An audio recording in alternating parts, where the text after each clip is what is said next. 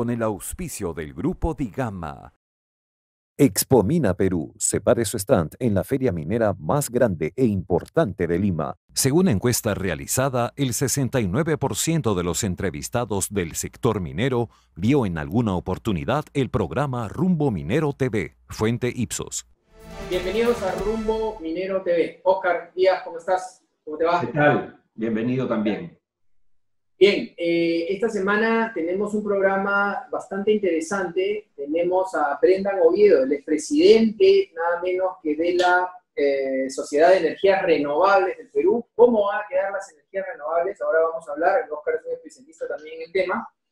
Y este, tenemos esta propuesta del eh, Arturo Verastain, el expresidente del capítulo de Ingeniería Metalúrgica del Colegio de Ingenieros del Perú, esta propuesta para oxígeno disponible eh, en nuestro país, ¿no? Habla de algunos, eh, algunos lugares. Eh, creo que hay que poner las propuestas sobre la mesa en un momento tan difícil, ¿no, Oscar?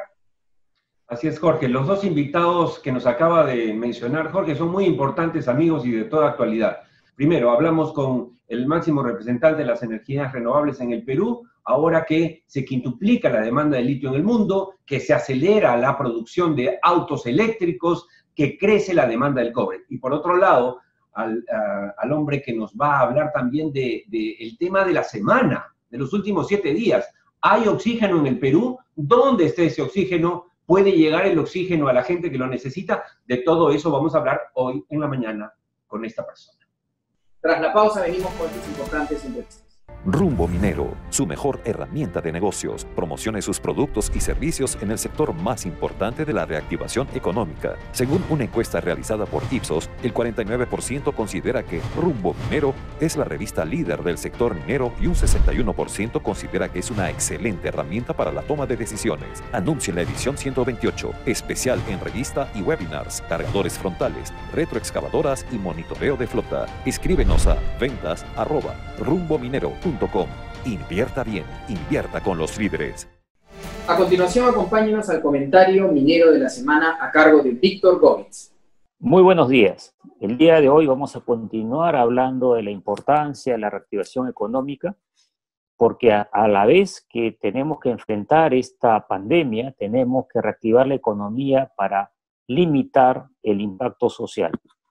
Dicho esto, es importante que sepan que en el mes de marzo Respecto al año anterior, hemos perdido 23% en términos de producción minera.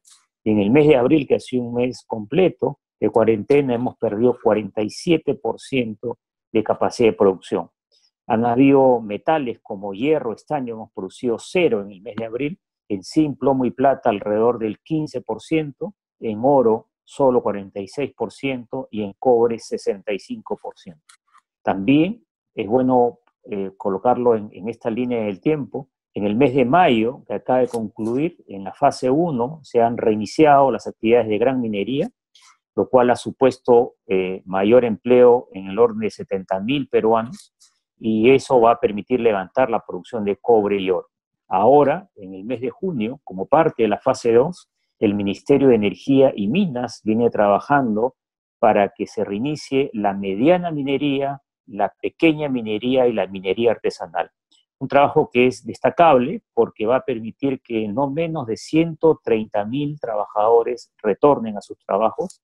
Y si le sumamos al número que 70 mil de la gran minería, y a ese número le acompañamos la cadena productiva de proveedores de bienes y servicios, aproximadamente un millón de peruanos al término de este mes de junio habría reingresado a trabajar obviamente con un nuevo estándar sanitario para minimizar el impacto de este virus. Dicho esto, que es, eh, yo considero muy positivo, no puedo dejar de mencionar con preocupación la iniciativa del Viceministerio de Ordenanza Territorial, un viceministerio que depende de la presidencia del Consejo de Ministros, que ha puesto a discusión en plena crisis que estamos enfrentando sanitaria, económica y social, una ley de un nuevo ordenamiento territorial que le daría la facultad a los alcaldes provinciales, los mismos que han tenido dificultades en, atender la alimentación en sus localidades,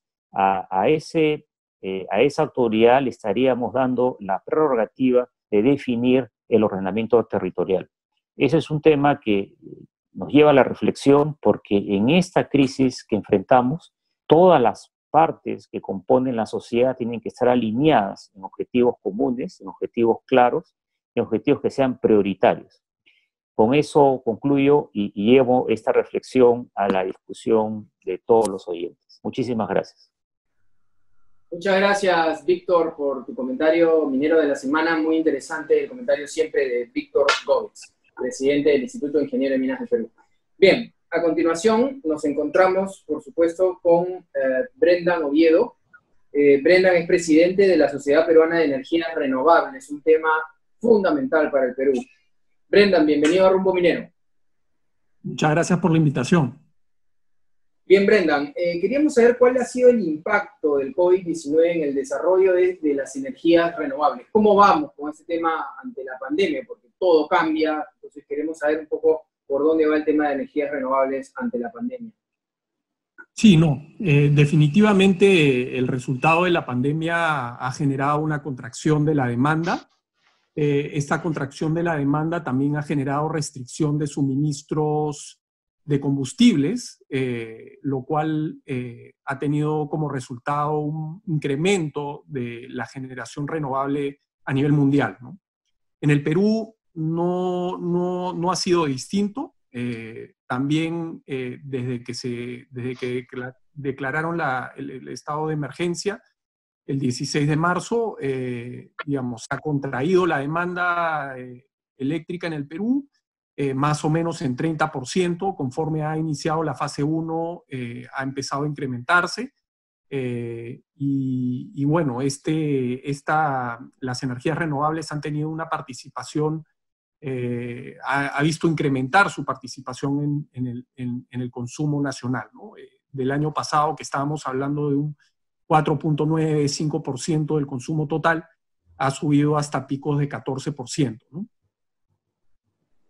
Brendan, eh, toda coyuntura, incluso las malas, como decía Einstein, las crisis son efectivamente oportunidades y este es el caso todo parece indicar, y la semana pasada lo comentaba nuestro analista desde Wall Street, eh, José González, que eh, por lo menos se va a quintuplicar la demanda de litio en el mundo, obviamente que es con lo que se hacen las baterías, pero también va a crecer de manera significativa eh, la demanda de cobre en el mundo, obviamente porque al, mantener una distancia social, pues las tecnologías, los celulares, las computadoras, las laptops y todos estos artefactos van a ser multiplicados y van a tener mayor demanda. ¿Esto significa también una oportunidad para el Perú? Definitivamente. Eh, el sector minero es uno de los sectores más importantes eh, en el GDP del Perú. Eh, también es uno de los consumidores más grandes del Perú.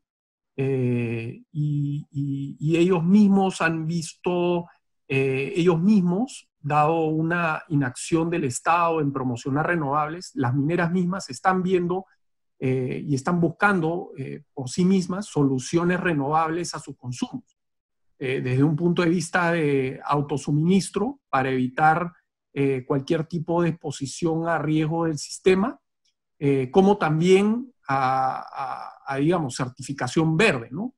que es, creo, un, paso muy, muy importante a nivel internacional respecto a, a, poder justificar tu consumo eh, eléctrico proveniente de energías renovables. Entonces, el sello verde.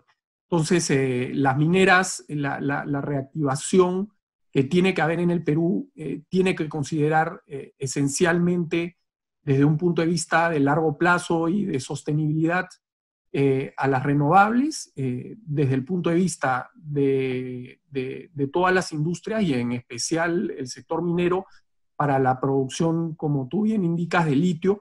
Las baterías, eh, hay muchas reservas de litio en el Perú, las baterías son eh, uno de los, digamos, elementos esenciales en la transformación energética eh, futura y, obviamente está asociado también a, la estabilización de energías variables como la eólica y la solar. fundamental.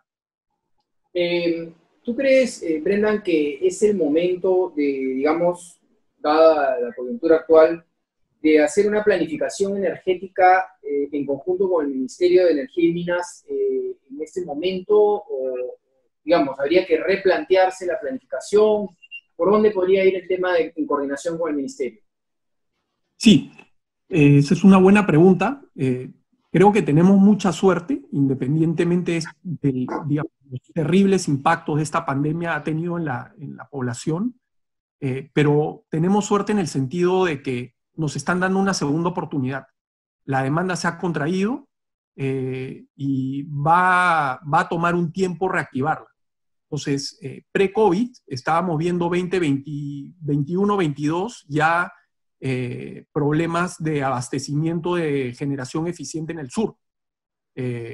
Entendemos, todavía no hemos visto información de proyecciones, cómo podría reactivar la demanda, sería un poco eh, digamos, complicado visualizarlo hoy, pero definitivamente va a tomar, va a tomar un poco más de tiempo, eh, con lo cual nos están dando una nueva oportunidad para sentarnos eh, y poder reorganizar nuestro sector con una planificación de mediano y largo plazo, que básicamente busque cosas que necesariamente tienen que estar en este plan de reactivación. Uno, la descentralización, eso es lo que estamos buscando, descentralizar las fuentes de generación, la generación en el norte y en el sur, especialmente en el sur donde hay mucha actividad minera también, eh, geotermia, eh, licitaciones de geotermia, eh, digamos, aprovechar los precios de, la, de la, eólica y la, eólica y la solar, generación de trabajo en el desarrollo de proyectos. Se ha estimado un incremento de 8% en, eh, ha, salido un informe del INRENA, el World eh, Renewable Energy Outlook, al, del 2020, que, que, considera que al 2050 los trabajos en el sector renovable se van a cuadruplicar.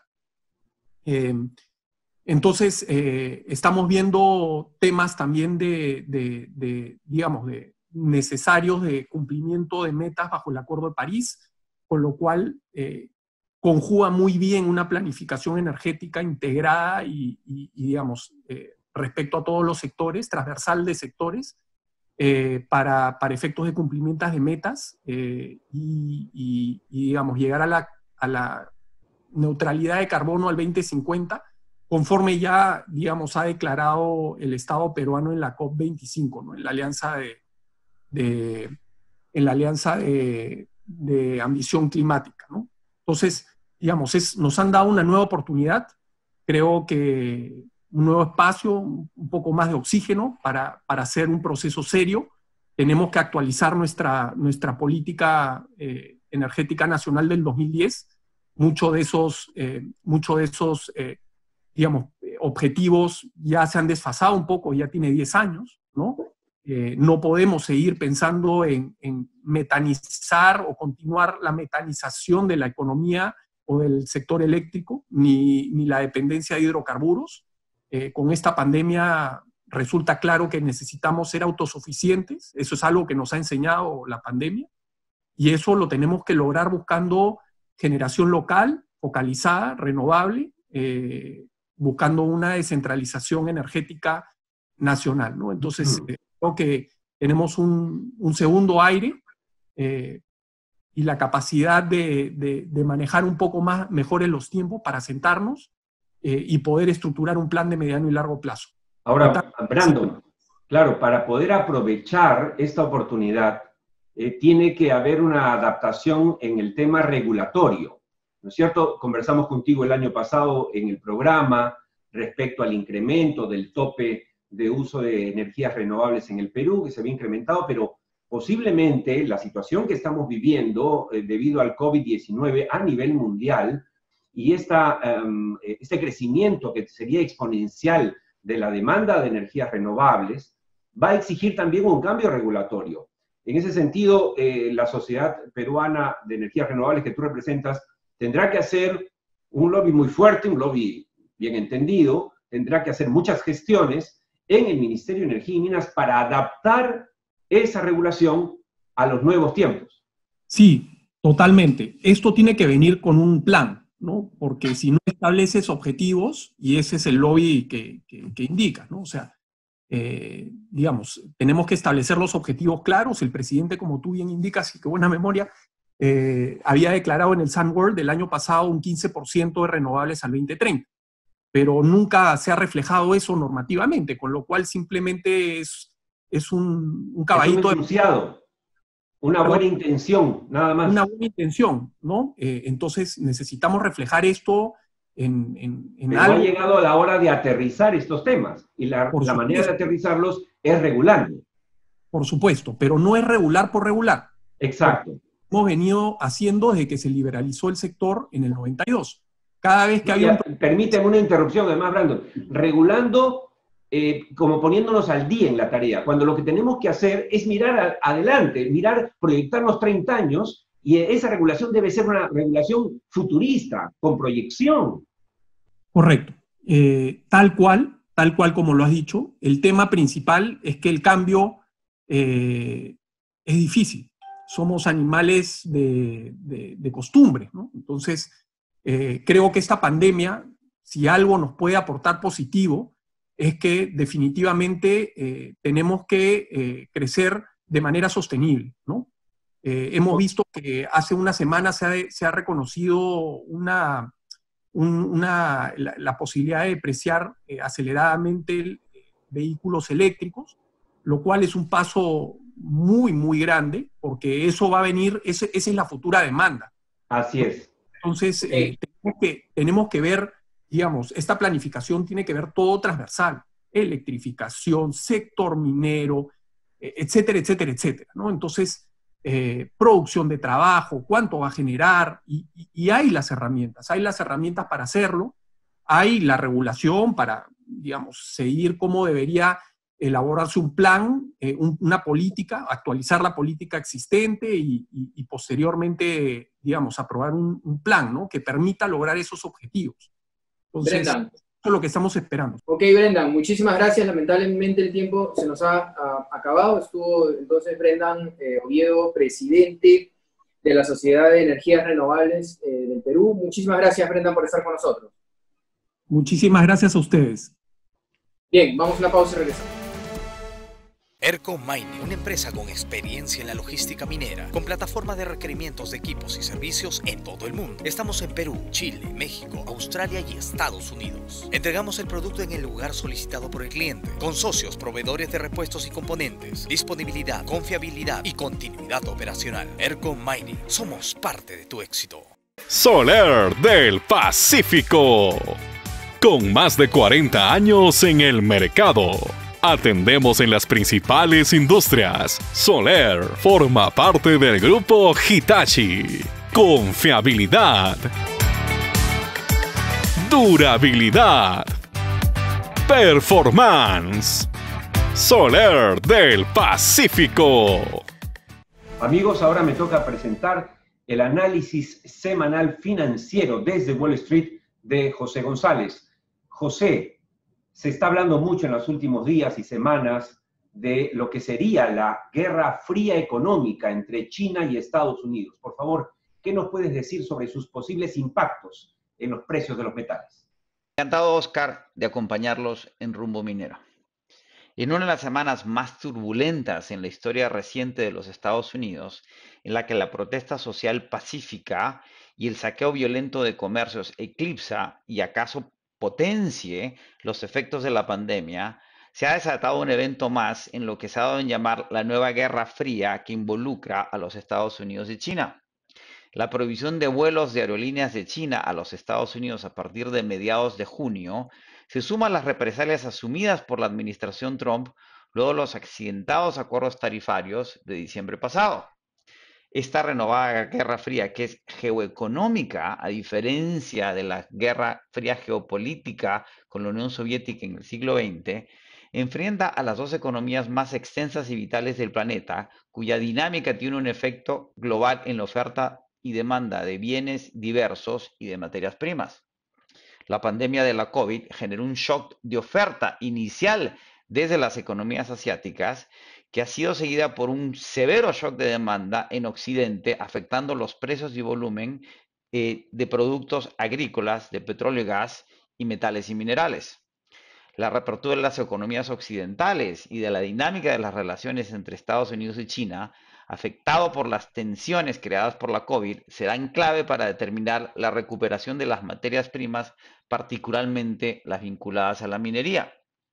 Por un lado, la desaceleración global impele la política de desarrollo interno promovida por Xi Jinping en desmedro de la dinámica exportadora, soportando los precios de metales y minerales de uso industrial, fundamentalmente el cobre, mientras que la desglobalización, promovida por los temores al, manejo político de las cadenas de suministro global, podría incrementar la demanda a su vez de economías en Occidente. Por otro lado, la intención de China de competir con el dólar con una criptomoneda emitida por el Banco Central de China y respaldada por oro apoyaría el precio del metal precioso que actualmente goza de una recuperación en su cotización en función de temores inflacionarios. Los metales raros y el litio seguirán por su parte viéndose favorecidos por el desarrollo y expansión de la tecnología a nivel global. Nos vemos la próxima semana en Rumbo Minero desde Wall Street. Muchas gracias a José González por ese importante comentario de la semana desde Nueva York. Eh, bueno, a continuación, como habíamos anunciado, tenemos con nosotros ya al ingeniero Arturo Verastain. Él es presidente del capítulo de Ingeniería Metalúrgica del Colegio de Ingenieros de Perú, eh, para hablar del tema de la planta de oxígeno. ¿Cómo está, ingeniero Verastain? Bienvenido a Rumbo Minero y muchas gracias por estar con nosotros. Muchas gracias, Jorge, por la invitación. Muchas gracias también, Oscar y Miguel, por esta oportunidad de poder comentarles algo de las propuestas que estamos haciendo respecto al oxígeno. Bien, eh, atención al, al, gobierno, porque este es un tema que hay una propuesta bastante importante, se está buscando oxígeno hoy en día, tenemos las plantas, tenemos las propuestas, por favor, un llamado al gobierno para que puedan ver esta entrevista. Vamos a tratar de hacerla llegar, pero es importante el llamado. Eh, ingeniero, ¿puede explicarnos el proceso y el grado eh, de pureza que, debe tener el oxígeno para que sea de uso medicinal? Porque habían algunas voces que decían, bueno, ese oxígeno no es de uso. A ver, explíquenos un poco primero este, esta parte. Un oxígeno industrial, el que puede usar Oroya, que puede usar Sauder, que puede usar Cerro, este, Cerro Verde, Cajamarquía, son oxígenos que llegan a niveles de 98% de pureza, ¿no? Con 2, 3 ppm o gramos por metro cúbico de CO, CO2. O sea, son oxígenos bastante limpios. Y el oxígeno medicinal, que le llaman medicinal, puede eh, puede llegar a ese nivel. Toda la nomenclatura, inclusive la nomenclatura de la OMS habla de 85%. Hay, eh, hay este, ISOs que hablan de 93, 95%. Nosotros en el año 2010 con el, ministro Ugarte sacó, sacaron una, una resolución que debería ser 99.5 o 99 a 100. Esto fue desechado por una, un problema, unas denuncias y de copy, en el 2012 lo declara 93%. Esos son los niveles de uso en medicina, ¿no? 96, 98. Ahora, en, el Perú en este momento, don Arturo, em, ¿dónde se encuentra oxígeno? ¿Dónde puede el gobierno en, en, este momento difícil que va a ser complicado muchos meses más y dónde las empresas, por ejemplo, pueden encontrar oxígeno? Es serio, confiable, un servicio, digamos, de calidad.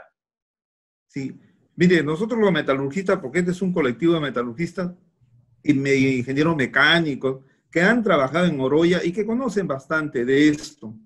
Oxígeno en el país no debe sobrar, es lo que menos se debe decir, ¿no? ¿Por qué? Porque sobre todo en metalurgia, y este es un trabajo que el Ministerio de Energía y Minas ha tenido que hacerlo si hubiese tenido profesionales metalúrgicos en su equipo.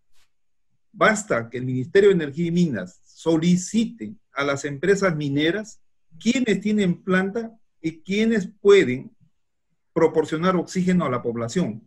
Y va a ver, ustedes se van a enterar la cantidad de oxígeno que hay en el medio.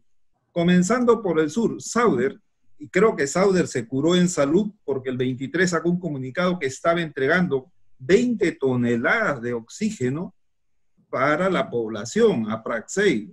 ¿No? Con, con una cosa que no entiendo que dice, se necesita hacer un proceso para llevarlo medicinal. No, señor, no se necesita, se necesita embotellarlo con las precauciones del caso y darle a la población. Ahora, eh, ingeniero, eh, la propuesta concreta para el tema del, uso de estas plantas de Doerran, ¿cuál es?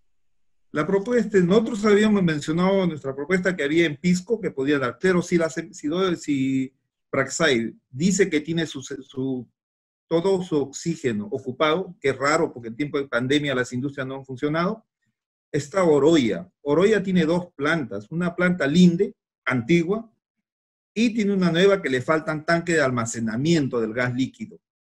¿Ya? La, la, planta viejita, que vamos a decir así, linde, abasteció por muchos años de oxígeno al hospital de Chule, que el hospital de Centromín, el, hospital de, de Doerrán, a razón aproximadamente de 200 eh, botellones mensuales.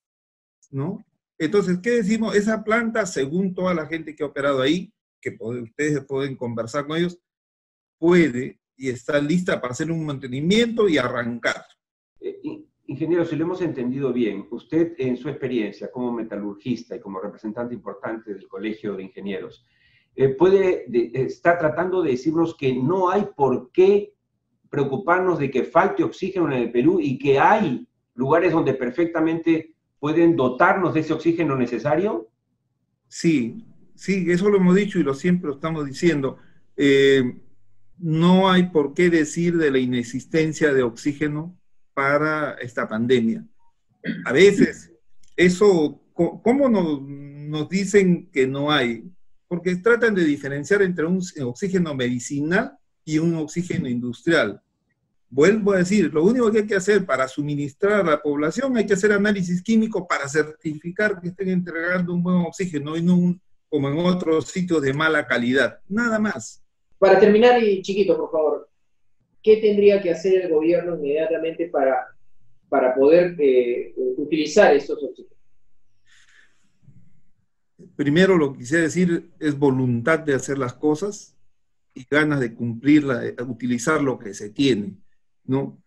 permítame decirle que cuando el ministro dice del de el oxígeno medicinal, no es preciso, no es claro, no es cierto. Segundo, que hay que comprar plantitas y plantitas, esa es otra cosa que va contra los intereses del país, porque si esto, como marcha esta pandemia, se soluciona dentro de cuatro meses, vamos a tener un cementerio de plantas chiquitas de oxígeno.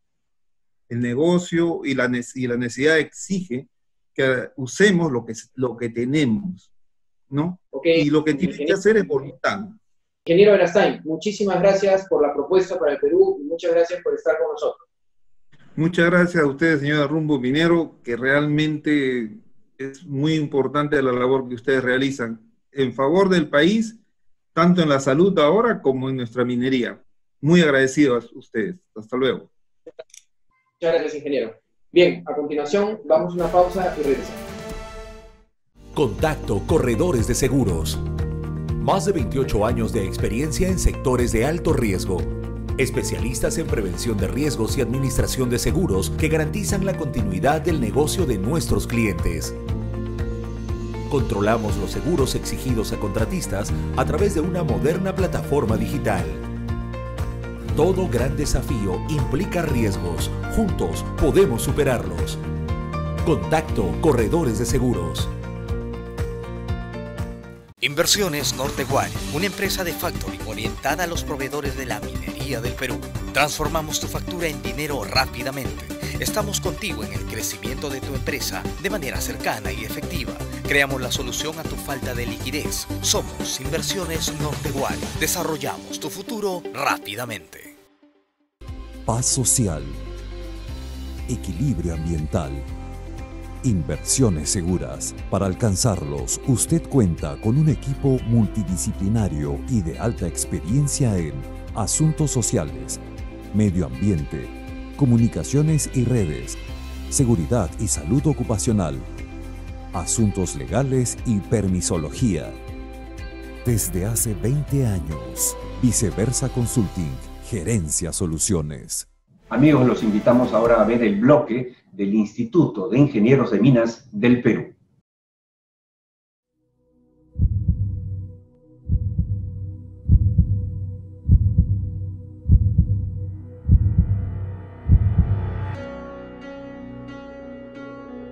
La pandemia nos sigue afectando a todos.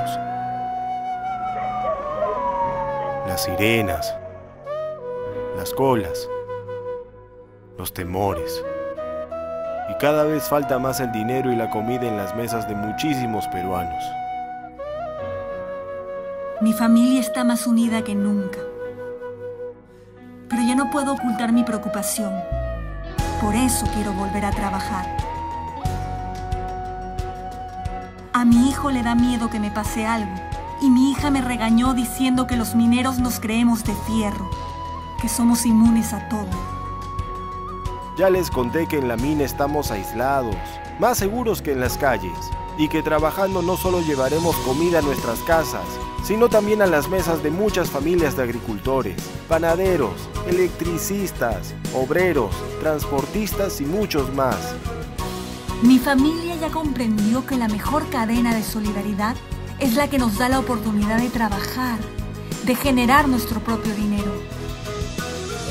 Y que solo coordinando los esfuerzos de todos, colaborando y protegiéndonos como un equipo, podremos superar las peores crisis.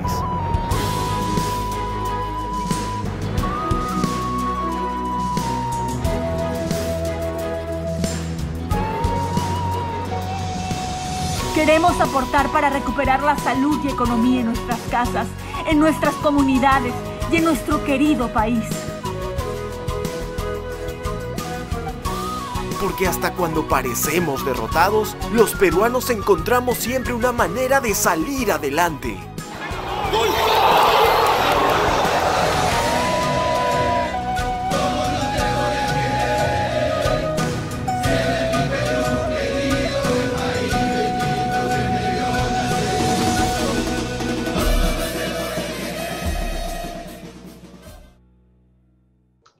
Vean ahora con nosotros el bloque de responsabilidad social y medioambiental de Rumbo Minero.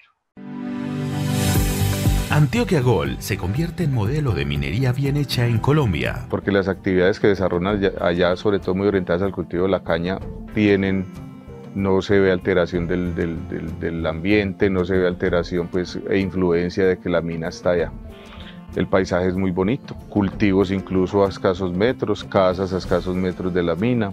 Allá manejan mucho la caña, de lo que sacan panela, eh, eh, blanqueado. Y el, y el ambiente y el, el territorio que es, es más verde. Hay vecinos. Si no se supiera que estuviera allá, ni se notara, porque bulla no hay no se siente ningún tipo de, digamos, de vibración ni nada. Sobre la mina, sobre el túnel, están las fincas, están las quebradas, allí hay cultivos de caña muy grandes, trabajan con la alcaldía, de la mano con la alcaldía, que trabajan con la, con la iglesia, con los grupos organizados, con las juntas de acción comunal, con, con la mesa ambiental.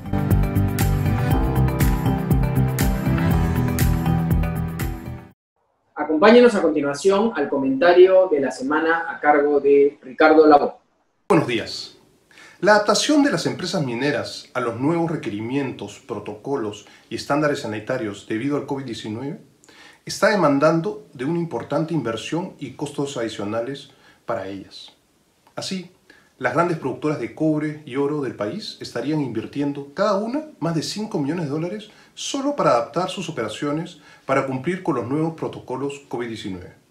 La mayor parte de esta inversión se ha realizado en la adecuación de sus campamentos, pero también en la adquisición de equipos de protección personal, elementos de control y prevención, entre otros. Esta inversión, si bien la mayoría de sus equipos aún está operando de forma remota, incluye la adecuación de sus oficinas administrativas. Asimismo, las empresas mineras están apoyando con importantes sumas de dinero, tanto a nivel nacional como a nivel regional y local, en distintas modalidades. Recordemos que hace poco la Sociedad Nacional de Minería hizo entrega de medio millón de pruebas rápidas al Ministerio de Salud. También ha realizado donaciones de equipos médicos, camas de cuidados intensivos, medicinas, generadores de oxígeno, entre otros elementos. Las empresas estiman que durante el 2020 esta situación tendrá un impacto negativo en producción que iría en el orden de 5 al 20%, así como en inversión en el orden del 15 y 20%. Debido a esta coyuntura, algunas empresas tienen pensado disminuir personal, otras mantener y otras aún lo están evaluando. Todas las empresas con las que he podido conversar indican que creen que el riesgo social hacia sus operaciones se incrementaría debido al COVID-19. Finalmente, la mayoría, como he mencionado anteriormente en otro comentario, está de acuerdo con que el gobierno debe crear un plan y medidas que aseguren el desarrollo de la cartera de proyectos mineros aún pendiente. Ciertamente, no se puede desarrollar el sector minero en esta nueva realidad con reglas generadas en el pasado y para otra coyuntura. Con este comentario me despido hasta la próxima semana. Muchas gracias. Bien, hemos llegado al final del programa. Eh, Oscar, yo creo que Brendan lo que está pidiendo, entre varias cosas, es otra vez hacer un planeamiento con el gobierno. La pandemia ha cambiado todo, los sectores ha cambiado, hay, hay nuevas oportunidades, algo que se está hablando mucho en estas épocas de ver también ante el problema la oportunidad, ¿no? Y también ponemos sobre la mesa lo que menciona el ingeniero Arturo Verastain, ¿no? Sobre el tema de oxígeno. Yo creo que ahí hay eh, opiniones encontradas, pero me parece que ahí justamente el gobierno es quien debe ver si esto es realidad y si esto es realidad, ponerlo de una vez en práctica. Sí, Jorge, eh, efectivamente, mira, una reflexión, ¿no? Entre tanto negativismo que hay en las noticias en nuestro país, te confieso que a mí me, me, me reconforta acompañarte en este programa hace cinco años, de los ocho que tiene, porque nos permite, es una ventana que nos permite hablar de las cosas positivas que hay.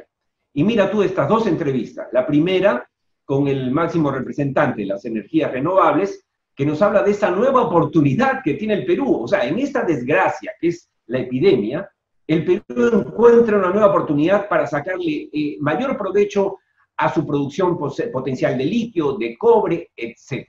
Y en el caso del señor del Colegio de Ingenieros, nos habla de que sí hay oxígeno y que sí hay posibles soluciones. Bien, a continuación, justamente para hablar de temas importantes y de oportunidades, viene en el 2021, abril de 2021, viene la gran feria Expomina Perú 2021. Adelante, Alfredo, con la información. Separe su stand en Expomina Perú, la gran feria minera de Lima presidida por Víctor Govitz de Compañía de Minas Buenaventura, quien invita a todos los proveedores mineros a exhibir sus productos y servicios al sector minero. Expomina presenta Conferencia Internacional de Minería y Congreso Latinoamericano de Compradores Mineros. Aumente sus ventas, participe en Expomina Perú y haga negocios. Separe su stand. Amigos, como siempre a esta altura del programa, me toca la satisfacción de recomendarles, anunciar en la que es sin duda la mejor revista para los proveedores del sector minero sobre todo. Rumbo Minero. Y a propósito, miren ustedes lo que dice Ipsos en relación al impacto de esta importante publicación. Según encuesta realizada, el 49% de los entrevistados considera a Rumbo Minero como la mejor revista del sector minero. Además, 61% de los entrevistados considera a la revista Rumbo Minero como importante para la toma de decisiones en el sector minero. Fuente Ipsos. Bien, a continuación quisiera presentarles las conferencias y congresos virtuales que viene realizando el grupo Digama con Rumbo Minero con gran éxito, gran eh, audiencia. Hay un montón de gente que está entrando a estas conferencias virtuales y este, en este momento viene, estamos preparándonos para el segundo del año, el segundo Perú Mining Business, muy importante, y también para los congresos eh, técnicos como mantenimiento, todo lo que es mantenimiento. Adelante con la información. La reanudación de las actividades en el sector minero en medio de esta pandemia es de vital importancia para la recuperación de la economía de nuestro país. Es por ello que el 17 de julio, el Grupo Digama llevará a cabo el quinto Perú Mining Business, retos, proyecciones y estrategias para el sector minero y la economía nacional, segundo semestre 2020, que permitirá presentar nuevos escenarios y propuestas que garanticen la continuidad de la recuperación de nuestra economía y sus empresas. El Quinto Perú Mining Business contará con la presencia de reconocidos profesionales del ámbito económico y empresarial como Elmer Cuba, Diego Macera y Roque Benavides. Desde New York, el analista de Wall Street, José González, y como invitados especiales, Susana Vilca, ministra de Energía y Minas del Perú, y Baldo Procúrica, ministro de Minas de Chile. Mayores informes al correo conferencias pmb.com.pe o al celular 922-023-260. Y el 20 y 21 de agosto realizaremos el segundo Congreso de Mantenimiento de Planta y Equipamiento Minero, Mantemin 2020. Mayores informes al correo mchicoma.digamaperú.com o al celular 922-023-260. Bien, hemos llegado al final del programa. Oscar, como siempre, muchas gracias por estar con nosotros. Un placer, Jorge. Y también recordarles que viene eh, a continuación el programa Perú Construye para hablar de todo lo que es construcción e infraestructura. A nombre del Grupo Igama, muchas gracias por estar con nosotros y como siempre los esperamos en Rumbo Minero a las 9 de la mañana los sábados y domingos. Gracias. Expo Mina Perú separe su stand en la feria minera más grande e importante de Lima